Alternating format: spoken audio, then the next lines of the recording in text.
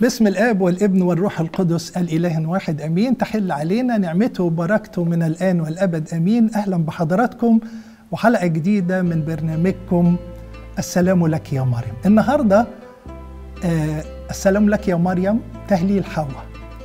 إذا كان آدم راجل بيدور على الخلاص فأكيد المدام بتاعته بتدور على الفرحة وعايزة مشاعر.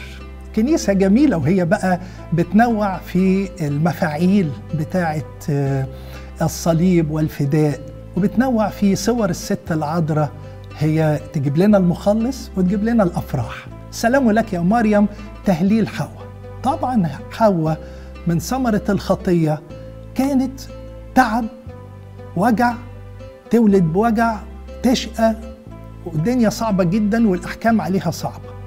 كانت منتظرة حد يفرحها حد يبل ريقها حد يرجع لها سعادتها اللي كانت عايشة بيها في الجنة قبل كده. والحقيقة أنه ربنا أعد ليها وللبشرية فرحة أعظم من فرحة الجنة وهي الفردوس. بولادة المسيح ابتدت الأفراح تبان ابتدت المباهج تبان والست العذراء كانت مفرحة عملت إيه بقى الست العذراء الحقيقة يقولوا إنه الشخص اللي تعبان واللي حاسس بوجع وحاسس بألم واللي اتحكم عليه بأحكام صعبة نتيجة خطيته ونتيجة ضعفه انظر إلى أمرين. الأمر الأول التجسد والفداء. بص على الصليب. وشوف الصليب. وأنت بتبص على الصليب هتعرف إن في حل إن في رجاء إن مفيش مستحيل إنه مفيش خطية ما بتتغفرش حتى لو سقطت بخطيه صعبة جدا حتى لو كانت الخطية موجهة ضد الله شخصيا. لا هبص على الصليب وهبص على الفداء. نمرة اتنين أتشفع بالست العذراء وده اللي حصل بقى. نوع من أنواع رد الكرامة لحواء إنه الست العذراء أنا مش عارف إيه كم الاتضاع اللي في أمنا العذراء دي؟ إنها تتسمى حواء الثانية. يعني حواء الاسم نفسه اسم أصبح يعني يحمل صفات ليست حميدة. مش كل الناس تحب تبقى أولاد حواء. فالست العذراء تيجي بكامل نقاوتها وكامل قداستها وكامل طاعتها وكامل فضائلها وتيجي وتقول أنا موافقة إن الآباء والكنيسة يسموني حواء الثانية.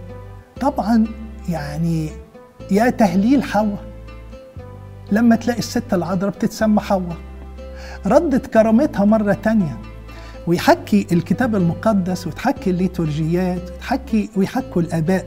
في لحن جميل بيتقال في مديح للقيامة في التسبحة اسمه تناف وفي اللحن ده يتقال كل الأفراح تليق بك يا والدة الإله لأن من قبلك أرجع آدم إلى الفردوس ونالت حواء الزينة عوض حزنها.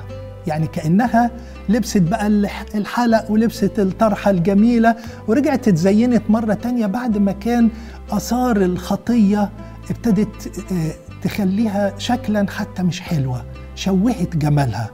ويقول وأخذت الحرية دفعة أخرى من قبلك والخلاص الدهري. والحقيقة أنه حتى برضه في التسبحة في لبش يوم الاثنين في الربع الحداشر يحكي ويقول مش حواء بس ده كل البنات وكل النساء اللي موجودين في في البشرية في الست العذراء نالوا هذا التهليل. فيقول إيه؟ يقول لأن من قبلها من قبل أمنا العذراء وجدت النساء دالة أمام الرب. سلام لك يا مريم. سلام لك يا مريم. تهليل حواء كل النساء بل وكل البشرية. فرحنا ان إحنا كنا معاكم النهارده.